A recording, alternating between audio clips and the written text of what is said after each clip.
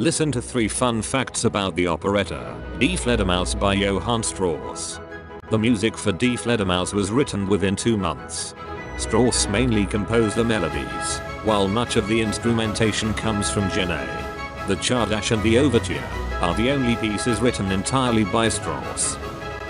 The Overture became famous with the cartoon, Tom and Jerry in the Hollywood Bowl, from 1950. Guest artists often perform at gala nights. In 1962, the appearance of a well-known piano virtuoso became a disaster. When stagehands brought the grand piano onto the stage, they lost control and the instrument fell into the orchestra pit.